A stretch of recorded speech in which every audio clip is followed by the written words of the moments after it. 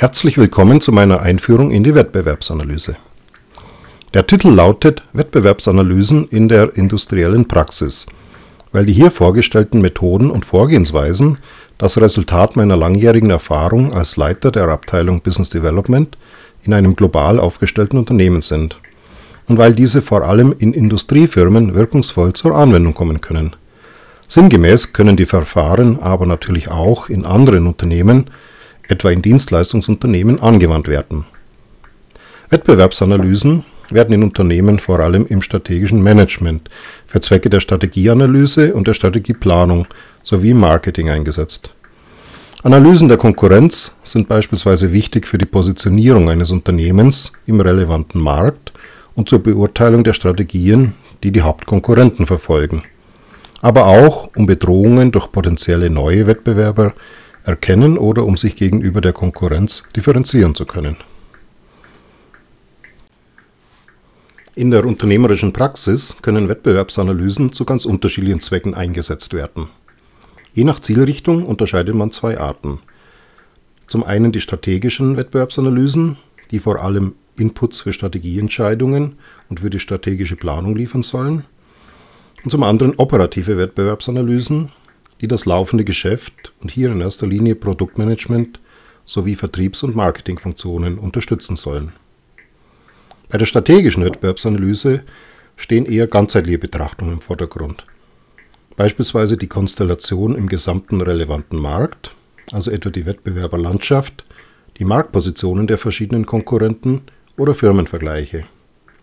Ein weiterer Aspekt betrifft die Konkurrenzfirmen, die hier in all ihren Facetten betrachtet werden, also etwa deren Strategien, ihre Portfolios, Finanzkennzahlen und Marktanteile sowie ihre Stärken und Schwächen. Demgegenüber dient die operative Wettbewerbsanalyse der Identifikation von Wettbewerbsvorteilen für den Vermarktungsprozess, zum Beispiel der Erkennung von Differenzierungs- oder Alleinstellungsmerkmalen, die im Rahmen von Marketingkampagnen genutzt werden aus diesem Grund wird der operative Teil auch häufig als taktische Wettbewerbsanalyse bezeichnet. Bei den Wettbewerbsvorteilen kann es sich sowohl um bereits existierende Wettbewerbsvorteile handeln, die im Sinne von Marketing- und Vertriebsargumenten verwendet werden können, oder um zukünftig erst noch zu realisierende Wettbewerbsvorteile, die Inputs für das Produktmanagement darstellen, also bei der Produktplanung und Entwicklung berücksichtigt werden sollen. Die Übersicht auf der Folie zeigt, wie sich die beiden Wettbewerbsanalyseverfahren unterscheiden, und zwar anhand einiger wesentlicher Merkmale, wie zum Beispiel den wichtigsten Inhalten oder Ergebnissen jedes Verfahrens sowie der jeweiligen Zielgruppe und der genutzten Datenquellen. Wettbewerbsanalyse stellt einen Regelprozess dar, den man kurz gesagt so beschreiben kann. Aus einer Reihe definierter Inputquellen werden Daten und Informationen generiert und zu Ergebnissen verarbeitet, die über bestimmte Kommunikationswege an verschiedene Zielgruppen geleitet werden. Bei der Definition dieses Prozesses und der einzelnen Elemente sind folgende Aspekte von ganz besonderer Bedeutung. Zunächst sollte eine dedizierte Stelle eingerichtet sein, die für Aufgaben der Wettbewerbsanalyse zuständig ist, und zwar möglichst hauptamtlich, und die diesen Prozess etabliert, bzw. pflegt und laufend optimiert. Ausgangspunkt sind die unterschiedlichen Bedürfnisse der verschiedenen Zielgruppen. Die Anforderungen beispielsweise einer Geschäftsführung an Wettbewerbsanalysen sind in der Regel natürlich andere als von Produktmanagement oder Marketing. Die Anforderungen beziehen sich dabei nicht nur auf die Inhalte, also welche Ergebnisse gewünscht werden oder welche Wettbewerber bzw. Wettbewerberaspekte wie zum Beispiel Strategie, Produkte, Geschäftszahlen usw. So betrachtet werden sollen, sondern auch auf Punkte wie etwa die Detaillierungstiefe der Informationen oder die Zeitpunkte bzw. Zeitintervalle, zu denen Analysen bereitgestellt werden. Oder eben auch die Informationswege, über die die Resultate kommuniziert werden.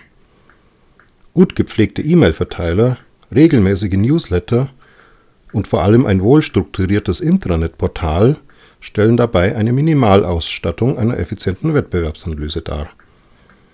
Entsprechend dieser unterschiedlichen Anforderungen werden eine Reihe von Standardergebnissen formuliert. Diese Standards sind wichtig, um eine solide Dokumentenbasis zu schaffen, die dann auch regelmäßig aktualisiert werden kann sobald neue Wettbewerbsinformationen vorliegen oder verfügbar sind. Dennoch entstehen häufig auch spontan sogenannte Ad-hoc-Anfragen nach Wettbewerberinformationen, die jedoch leichter und schneller bedient werden können, wenn eine gewisse Zahl an Standarddokumenten bereits existiert. Wichtig ist in diesem Zusammenhang auch, dass eine systematische Datenhaltung vorhanden ist und dass ein effektiver Zugriff auf eine größere Zahl an internen und externen Informations- und Datenquellen möglich ist. Auf der vorhergehenden Seite wurden bereits eine ganze Reihe von Standardergebnissen der Wettbewerbsanalyse gezeigt.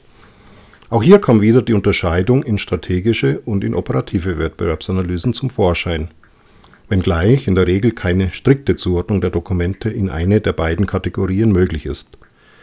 Selbst Wettbewerberprofile beispielsweise, die hauptsächlich zur Überblicksinformation der Geschäftsführung dienen, also zumeist ein Dokument der strategischen Analyse darstellen, können Informationen beinhalten, die auch im operativen Geschäft wertvoll sein können, beispielsweise Produktinformationen – die das Produktmanagement benötigt, oder Marktanteile, die Marketingverwendung finden können. Eine Zuordnung ist daher eher tendenzieller Natur und orientiert sich an den Zielen und Anforderungen der jeweils primären Zielgruppe. Auf dieser Seite sind elf Typen von Wettbewerbsanalyse-Dokumenten aufgelistet, die sich als Standardobjekte sehr bewährt haben. Und zwar sowohl in der strategischen Wettbewerbsanalyse bei der etwa Industrieanalysen oder Wettbewerbs-, Performance- und Marktanteilsvergleiche zu den üblichen Unterlagen bei der Strategieplanung und Entwicklung zählen. Aber auch in der taktischen Wettbewerbsanalyse, wo Produktvergleiche und Gegenüberstellungen, wie beispielsweise Quick Reference Guides, zum gängigen Handwerkszeug eines jeden Produktmanagers gehören sollten. Ebenso wie Battlecards und Positionierungspapiere regelmäßige Bestandteile von Marketingkampagnen sind. Für jedes dieser bewährten Standardergebnisse existieren übrigens Tools in Form von Formatvorlagen in PowerPoint und teilweise auch unterstützende Excel-Dateien, die der Erfassung, Verwaltung und Aufbereitung von Daten sowie der automatischen Berechnung von Ergebnissen und der automatischen Erstellung von Diagrammen dienen. Diese kostengünstigen Tools können auch auf meiner Website www.strategieundplanung.de bestellt werden. Im Folgenden werde ich nun einige Beispiele für Methoden und Tools, die in der Wettbewerbsanalyse zur Anwendung kommen, etwas näher beschreiben. Ich beginne mit der Industrieanalyse. Bei der Industrieanalyse werden gesamte Branchen oder Industriesektoren untersucht und die wichtigsten Firmen der Branche bzw. des Sektors in einer Art Marktportfolio dargestellt. Die zu analysierenden Kriterien und Aspekte werden zumeist drei Kategorien zugeordnet, um eine Portfoliodarstellung zu ermöglichen. Die Kategorien können dann in der x- und y-Achse sowie als Kreisgröße abgebildet werden. Hinter diesen drei Kategorien steht zumeist jeweils eine Aggregation vieler Einzelkriterien. Hinter der Kategorie Vollständigkeit des Portfolios beispielsweise, die sich besonders für Produkthersteller eignet, verbirgt sich im Detail, inwieweit durch das Produktportfolio alle relevanten Marktsegmente oder alle Performance- oder Größenklassen abgedeckt sind. Außerdem auch solche Punkte wie etwa Adaptierbarkeit der Produkte, Eignung der Produkte für unterschiedliche Vertriebskanäle oder Aktualität des Portfolios, um nur einige Beispiele zu nennen. Während bei Produktherstellern in der Regel die Vollständigkeit des Portfolios herangezogen wird, passt bei Servicefirmen eher die Regionalabdeckung als Beurteilungskriterium. Die zweite Kategorie Wettbewerbsstärke eignet sich jedoch prinzipiell für alle Arten von Firmen und ist sehr aussagekräftig, da sie sich aus Aspekten zusammensetzt, die auch Hinweise auf die Wettbewerbsstrategie der Konkurrenten geben, zum Beispiel relativer Marktanteil, relative Kostenposition oder Gewinnspannen, Kundenloyalität, Distributionsstärke, Qualifikation der Mitarbeiter und Führungskräfte, Innovationskraft und so weiter. Als dritte Kategorie wird normalerweise der Umsatz oder der Marktanteil und für die Darstellung symbolisch die Kreisgröße gewählt. Die Industrieanalyse ist bedeutsam, da sie Rückschlüsse auf die Marktchancen liefert und damit auf die zu verfolgende eigene Wettbewerbsstrategie. Rückschlüsse ergeben sich einerseits aus der Gesamtstruktur des Marktportfolios, also aus Anzahl, Verteilung und Größe der Firmen, zum Beispiel ob dominante Wettbewerber existieren oder ob der Markt fragmentiert ist, andererseits aus der Position der eigenen Firma relativ zu den Konkurrenten in Bezug auf Wettbewerbsstärke, Größe und die weiteren definierten Analysekriterien. Während die Industrieanalyse einen ersten schnellen Überblick über die gesamte Wettbewerbssituation innerhalb einer Branche oder eines bestimmten Marktes gibt, liefern Wettbewerbsvergleiche exaktere Rückschlüsse auf Stärken und Schwächen der Konkurrenz, da sie jeweils auf einer Reihe definierter Einzelkriterien beruhen. Auch die Position der eigenen Firma relativ zu den Wettbewerbern lässt sich somit differenziert ermitteln. Auf diese Weise erhält man genauere Hinweise auf mögliche Strategien zur Verbesserung der eigenen Wettbewerbsfähigkeit und Position. In der Praxis haben sich drei Kategorien für Wettbewerbsvergleiche mit jeweils unterschiedlichen Schwerpunkten bewährt. Strategische Wettbewerbsvergleiche mit Schwerpunkt auf Kriterien, die die Strategie und den langfristigen Unternehmenserfolg beeinflussen, zum Beispiel Portfolio, Produktqualität, Preisposition, Vertriebsnetz, Markenstärke, Finanzkraft, Partnerschaften, Vision etc. Die Darstellung auf dieser Seite zeigt ein Beispiel für solch einen strategischen Wettbewerbsvergleich. Wettbewerber X sei das eigene Unternehmen, das bezüglich der in der linken Spalte aufgelisteten Kriterien mit fünf Hauptkonkurrenten verglichen wird. Es findet jeweils eine qualitative Bewertung jedes Kriteriums und Wettbewerbers statt, und zwar auf einer fünfstufigen Skala von sehr starke Position über starke, neutrale und schwache Position bis hin zu sehr schwache Position, wobei jeder Bewertung ein entsprechendes Symbol zugeordnet ist. Zwei weitere Beispiele für Vergleiche, die häufig im strategischen Management eingesetzt werden, sind zum einen Performance-Vergleiche, die einen Schwerpunkt auf finanziellen Kennzahlen legen, zum Beispiel Umsatz, Wachstum, Ergebnis oder Return on Investment, Vermögen, Liquidität etc. Und schließlich Marktanteilsvergleiche mit Schwerpunkt auf dem Ranking, also der Reihenfolge der Wettbewerber in bestimmten Märkten auf Basis der jeweiligen Marktanteile. Im Folgenden möchte ich als nächste Methode einen Produktvergleich kurz vorstellen, den man auch gelegentlich als Battlecard bezeichnet. Bei dieser Vorgehensweise werden zwei Produkte, nämlich ein Vertreter aus dem eigenen Produktportfolio und ein Wettbewerberprodukt, das denselben Markt adressiert, in einem 1 zu 1 Vergleich einander direkt gegenübergestellt. Das Beispiel auf dieser Seite erklärt das Konzept dieses Instruments. Für eine Reihe definierter Produktmerkmale oder Eigenschaften wird jeweils beurteilt, ob das eigene Produkt entweder besser oder schlechter ist oder ob beide Produkte in etwa gleich stark sind. Da die Produktmerkmale des eigenen Angebots im betrachteten Marktsegment mit jeweils nur immer einem Wettbewerberprodukt verglichen werden, bedeutet das in der Praxis, dass für jedes Produkt jeweils mehrere solcher Vergleichsdokumente angefertigt werden müssen, und zwar so viele, wie Konkurrenzprodukte als relevant angesehen werden. Wichtig insbesondere für taktische Zwecke der Vermarktung ist nun, dass die spezifischen Produktvorteile der eigenen Angebote gegenüber dem jeweils betrachteten Wettbewerberprodukt klar ersichtlich sind. Zusätzlich werden hier auch noch Empfehlungen gegeben, beispielsweise für die Positionierung des eigenen Produkts am Markt oder für bevorzugte zu verwendende Verkaufsargumente und für etwaige Reaktionen auf das Vermarktungsverhalten des betreffenden Konkurrenten. Das erklärt auch den Begriff Battlecard, da die vergleichende Gegenüberstellung in Kombination mit den Empfehlungen für den Vertrieb überzeugende Argumente liefern soll, um damit bei Kundengesprächen, Auftragsakquisitionen etc. das eigene Angebot gegenüber den Konkurrenzgeboten zu behaupten. Aber auch Marketingstellen können aus Battlecards geeignete Themen für Kampagnen, Unterlagen, Präsentationen usw. So selektieren.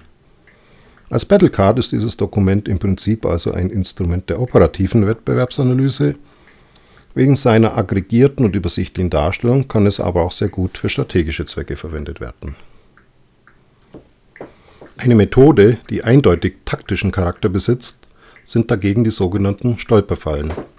Von einer taktischen Wettbewerbsanalyse wird unter anderem auch erwartet, dass Konkurrenzinformationen so aufbereitet und angeboten werden, dass diese proaktiv gegen Wettbewerber eingesetzt werden können.